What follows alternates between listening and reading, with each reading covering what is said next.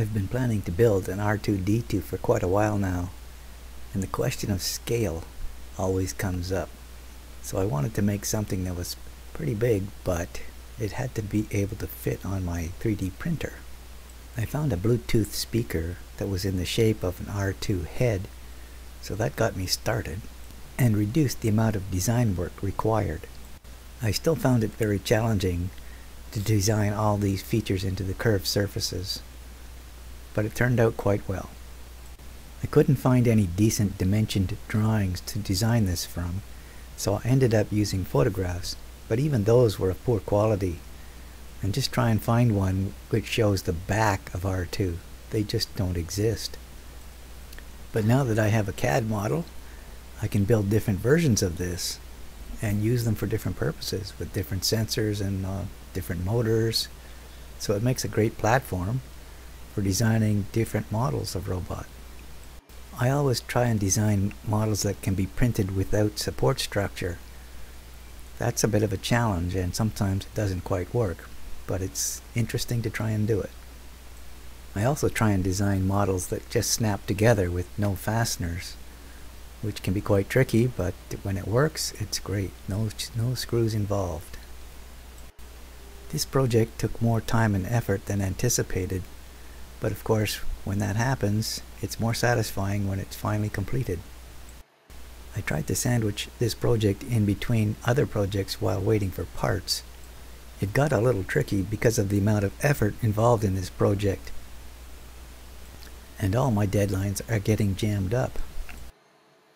It ends up adding quite a bit of pressure to make sure that things work on the first try. For this project, I really just want to end up with a solid platform that I, that I can use to build on as I dream up new features that might be interesting to try. This first model won't have motorized legs or wheels. It won't even have the third leg for R2-D2. The head rotation will be motorized and the head itself will have some electronics that we can use to create some cool effects but the body parts are mainly about trying to get that iconic look of R2-D2. Unfortunately, my painting skills are subpar. I tried to use nail polish to get the silver color and some of the blue colors and black colors, but boy, they don't come with a very good brush to paint with. You really want to use a, a real paintbrush if you use uh, nail polish for this stuff. I ended up using some acrylic blue paint but it's still far from very good.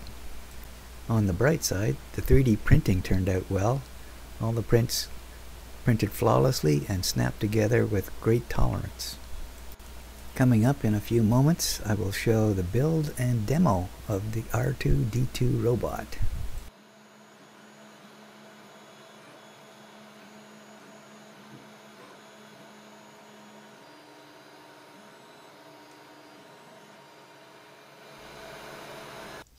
Okay, I'm just peeling off the masking tape here where I painted my blue line to give me a nice even line.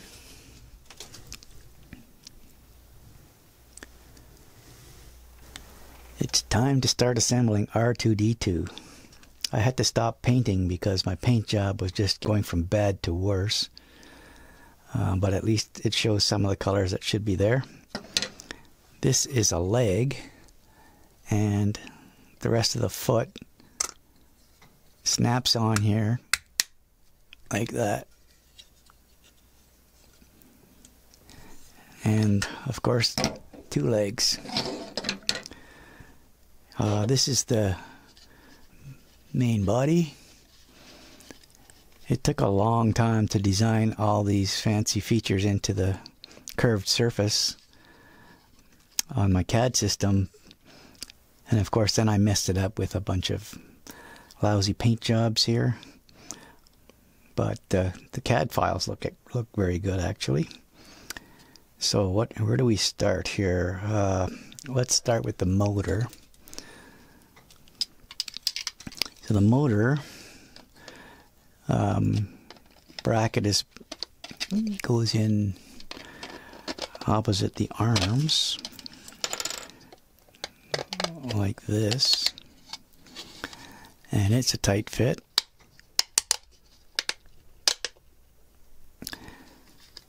So now that puts the motor in the middle and you can see in here that the motor bracket is right opposite the uh, arm and what we have here is a axle with a slot in it that can fit over the motor bracket and lock it in place. So now that can't come out and we have a nice tight fit on the axle for the arm. And likewise, this one also has a, a jaw to grab the motor bracket. And it's a nice tight fit too. So there we have the motor. That motor is meant to rotate the head. And of course now all we have to do is snap on the legs. So here's a leg. And that's very tight, as you can probably hear. And the other one. There we go. R2D2, at least the body. He stands up nicely. So for the motor, I have a a servo horn mounted on the bottom of this rotating plate, which I just stick on top and screw in.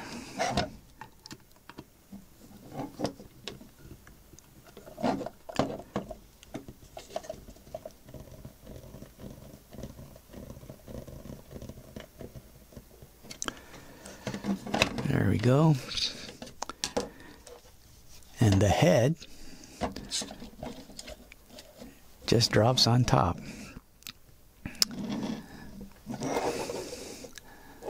So that's the R2D2 all done. Very quick. And let's power it up and see if that little motor can actually rotate that heavy head. So the head on top here is a actually a Bluetooth speaker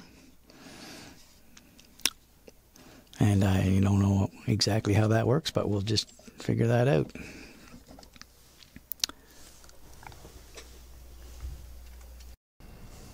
Hey, R2. How are you?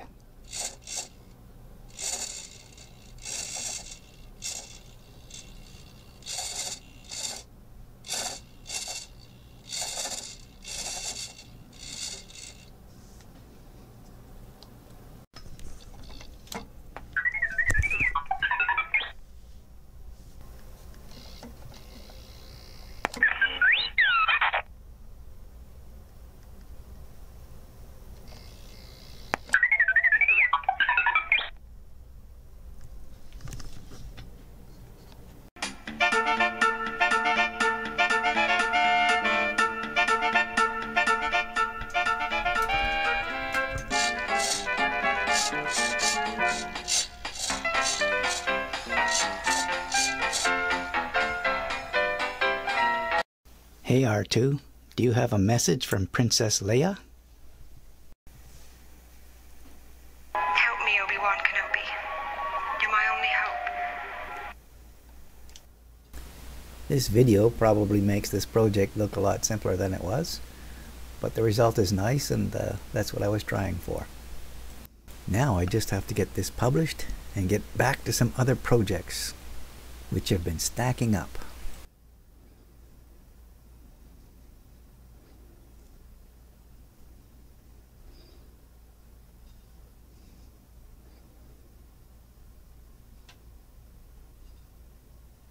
I'll just switch off for a while.